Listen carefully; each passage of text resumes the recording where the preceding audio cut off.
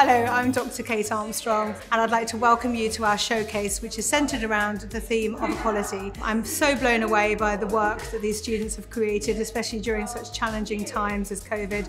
This is a summary of uh, the work of our students.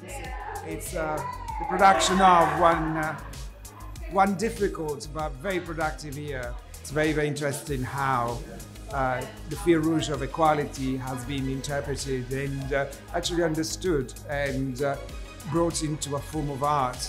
We had a lot of support from our tutors. Uh, without them, we would we wouldn't be able to do it. I didn't know how to sew before I came, and now I produce something which I'm really proud of.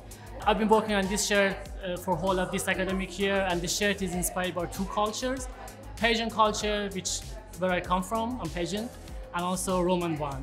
So I combine these two cultures together this, to make this shirt and uh, I'm, I'm so proud of that. Today I'm presenting my UX UI design. It's a mobile application for the gamers.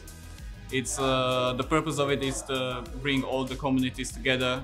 Based on equality, I choose to develop my project, and the concept is well-being. So all my inspiration is based on reality on people, on psychology. I've produced a publication book. It has different uh, meaning for each chapter. So like, you know, a few chapters will have a mix of poems and riddles. This is a place that you can express your creativity and go beyond with it. There's no limit. My project is called Underneath the Surface. It's about um, power of water.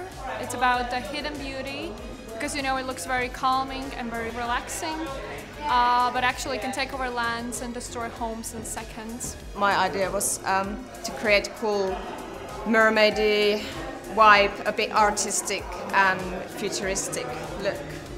I'm pretty happy with the outcome and I, I, guess you can always learn more, but yeah, I am happy. Yeah. I'm making a garment, it's like two-piece garment and uh, with this uh, kind of like really nice, well uh, tailoring kind of effect but then with the draping side of it on the arms, also on the front of the trousers. Don't be afraid to explore. Don't be afraid to look at weird things, maybe disgusting things, because at the end you can create something amazing. I'm proud of the fact that two of my work are, are showcased here in the exhibition. Cancer something that is affecting uh, a huge percentage of women nowadays. You don't have to feel different. You are equal to the other ones, even though you're suffering. It's so refreshing to see such incredible work um, that's really been thought about in terms of the theme of equality. Uh, from what that means from a race perspective, a gender perspective, a work perspective. Yeah, I think the work is eclectic and this uh, showcases our diverse group of students, but also diverse group of programs which we run at LCCA, from business management to creative business to um, marketing, fashion, graphic design.